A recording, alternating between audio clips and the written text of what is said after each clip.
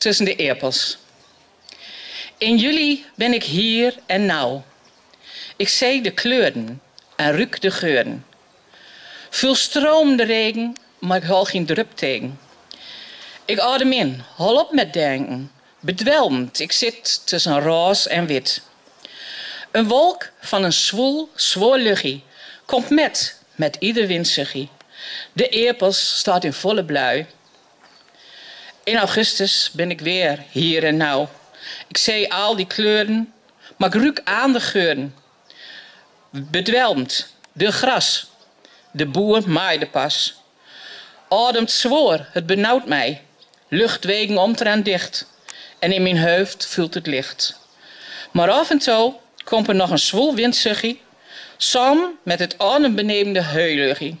Gelukkig, er staat nog een poor eerappels in blui. Krijgen jullie nog wat opdrachten? Jazeker. loopt lekker door.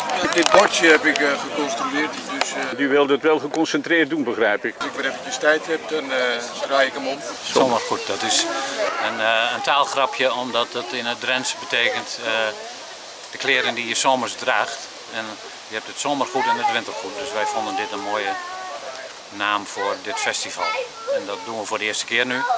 En uh, nou ja, tot dusver loopt het lekker. Het is een festival waarin uh, uh, sprake is van muziek, van taal, taalplezier noemen we dat, omdat er veel dichters uit het light first genre optreden.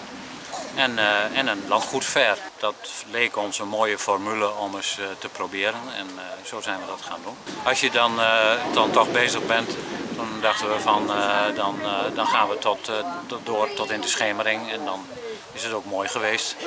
Uh, maar uh, voor, voor de ver geldt dat hij om vijf uur is afgelopen.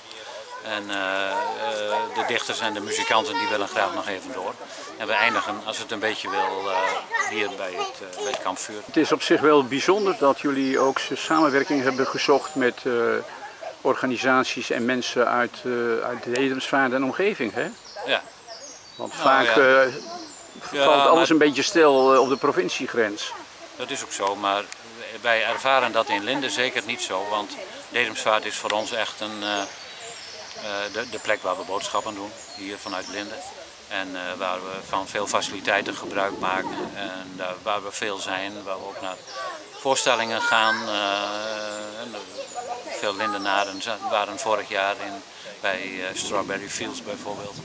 Nou, dat soort uh, uitwisselingen is er wel voortdurend. Mm -hmm. Dus voor ons geldt het eigenlijk niet als iets wat uh, ver weg is of aan de andere kant van een grens ligt. Mm -hmm. Maar meer van, we delen dat riviertje met elkaar de aan, aan weerszijden. En wat is het hoogtepunt van deze dag? Het zijn eigenlijk allemaal kleine hoogtepuntjes. Voor mijzelf geldt dat straks het, het, wagenspel wat, wat nu hier voor de eerste keer gespeeld wordt een klein beetje een hoogtepunt is omdat ik er de schrijver van ben. dat komt overigens ook in Dedemsvaart in september bij de kalkovens. Iedere liefhebber treft wel iets aan van zijn eigen gading. Superleuk. Ja? Wij uh, komen uit de stad en uh, nu uh, naar het dorp. En, ja. Waar komen jullie vandaan? Wij komen uit Rotterdam. Rotterdam, kijk ja. En dan in Linden terechtkomen. In Linden terechtkomen, ja. ja dat is toch wel een, een, een, behoorlijke verandering lijkt me. Dat klopt, ja. ja. ja.